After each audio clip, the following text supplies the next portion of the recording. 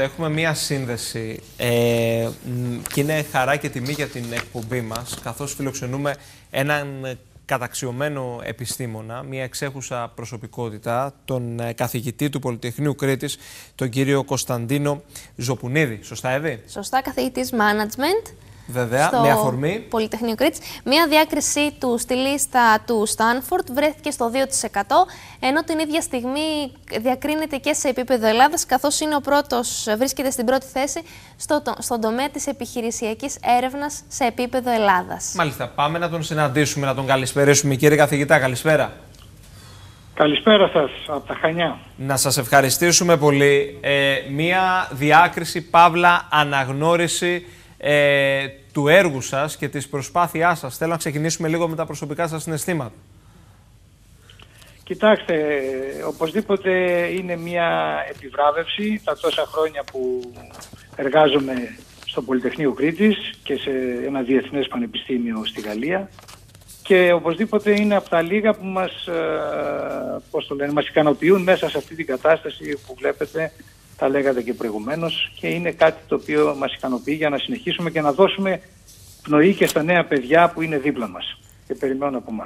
Και μέσα από την αναγνώριση, την διεθνή αναγνώριση του έργου σας, επιβεβαιώνεται και αυτή η δυναμική που έχουν τα ακαδημαϊκά ιδρύματα στην χώρα μας, τη δυναμική που έχει η τριτοβάθμια εκπαίδευση, αλλά και η έρευνα συγκεκριμένα.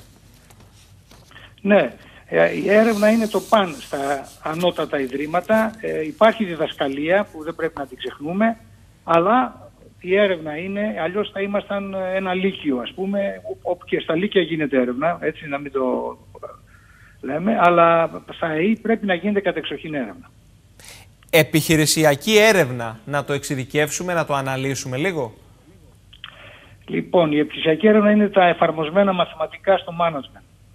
Δηλαδή θέλεις να λύσεις ένα πρόβλημα επένδυσης, θέλεις να λύσεις ένα πρόβλημα που θα βάλεις ε, τα σκουπίδια σου, θέλεις να αξιολογήσεις επιχειρήσεις για μια τράπεζα πώς θα δοθεί το δάνειο, ε, να κάνεις ένα πλάνο marketing, να δεις πώς μπορείς να αξιολογήσεις τα πλάνα marketing και ποιο είναι το καλύτερο.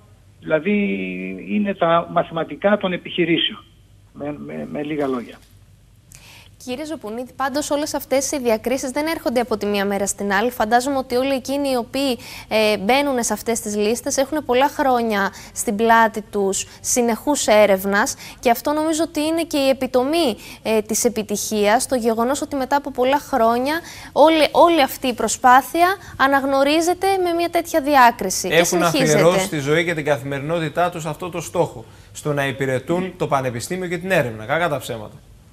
Αυτό ακριβώς είναι. Εγώ τώρα φτάνω κοντά στη συνταξιοδότηση ε, και πράγματι είναι μια, ένας αγώνας διαρκής. Δεν πρέπει να το βάλεις κάτω.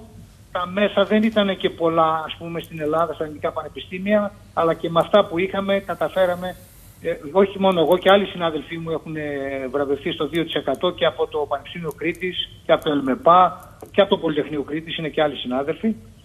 Οπότε είναι για όλους μας ε, μια επιτομή, όπως είπε η συνάδελφός σας, για αυτό το πραγματικά μεγάλο έργο. Είστε αισιόδοξο αναφορικά με την επόμενη μέρα, αναφορικά με τους νέους επιστήμονες. Ξέρετε, προηγήθηκε μια δεκαετής οικονομική κρίση, με ό,τι και αν αυτό συνεπάγεται με την περίφημη μετανάστευση των Ελλήνων επιστημόνων διανύουμε, διανύουμε μέρες πολέμου, σωστά, στη γειτονιά μας, σε επίπεδο Ευρώπης στα βόρεια και σίγουρα διανύουμε και από τη μία κρίση αξιών, από την άλλη βέβαια μια προέκταση οικονομικής κρίσης όπως είναι η ενεργειακή κρίση. Είσαι αισιόδοξος αναφορικά με την επόμενη μέρα και με τα εφόδια που θα δώσετε στους νέους επιστήμονες; Ε, αν δεν ήμασταν αισιόδοξοι έπρεπε να τα είχαμε παρατήσει όλα. Οπότε νομίζω, εγώ το πρώτο που λέω και στα παιδιά και στα δικά μου τα παιδιά και στους φοιτητές μου λέω η γνώση. Η γνώση είναι το α και το ω. Έχεις γνώση, μπορείς να προχωρήσεις, να πας όπου θέλεις. Και αυτό έγινε με τα παιδιά τα δικά μας που φύγανε στην Αγγλία, στη Γερμανία, στη Γαλλία που πήγανε γιατροί, πήγανε μηχανολόγοι, πήγανε μηχανικοί, οικονομολόγοι. Βλέπετε τι γίνεται. Ε. Και οι χώρες αυτές τους απορροφήσαν άμεσα. Τους απορροφήσαν άμεσα. Οπότε είμαι πολύ αισιόδοξος. Πιστεύω μόνο με τη γνώση και την έρευνα μπορούμε να θεμελιώσουμε ε, στοιχεία τα οποία θα μας οδηγήσουν στην ανάπτυξη. τώρα βέβαια υπάρχει αυτό που είπατε της κρίσης και της ενεργειακής και της κλιματικής αλλαγής, έτσι, που δυστυχώς ε, είναι δύσκολα τα πράγματα, αλλά πιστεύω πάλι θα βγούμε κερδισμένοι από αυτόν τον λαβύρινο. Κύριε καθηγητά, η συμβουλή σας και η προτροπή σας στη νέα γενιά, σε προοπτιακούς φοιτητές, ε, μεταπτυχιακούς φοιτητές που σκέφτονται ίσως και την προοπτική του εξωτερικού, ποια είναι; Αξίζει κάποιος να επενδύσει στην Ελλάδα; Ε, κοιτάξτε τώρα όπως πάνε τα πράγματα ε, έχουμε καλά μεταπτυχιακά, ε, μεταπτυχιακά προγράμματα και προπτυχιακά θα έλεγα και στο, βλέπετε τι γίνεται και στο Πανεπιστήμιο. Το Πανεπιστήμιο Κρήτου Κρήτης έμαθα τελευταία είχε βγει πρώτο στην Ελλάδα από μια λίστα βαθμολογίας επίσης. Νομίζω υπάρχει μέλλον, υπάρχει μέλλον ε, αρκεί να δώσουμε βέβαια και η πολιτεία να δώσει τα στοιχεία εκείνα που πρέπει, τη χρηματοδότηση για να μπορέσουμε να, να επιβιώσει το σύστημα. Αλλιώς ε, τα παιδιά θα φεύγουν έξω. Καταλάβατε, είναι, είναι, είναι ένας γενικότερος σχεδιασμός. Ακριβώς, ακριβώς και μια συνεργασία. Θέλω να σας ευχαριστήσω θερμά, με το καλό να τα ξαναπούμε, χαρά μας και τιμή παράλληλα που τα είπαμε σήμερα. Καλή επιτυχία για τη συνέχεια και να συνεχίσετε να μας κάνετε υπερήφανους. Σας ευχαριστώ πάρα πολύ για την τιμή να με καλέσετε. Σας ευχαριστούμε πολύ. Να είστε καλά. Καλό βράδυ. Να είστε καλά.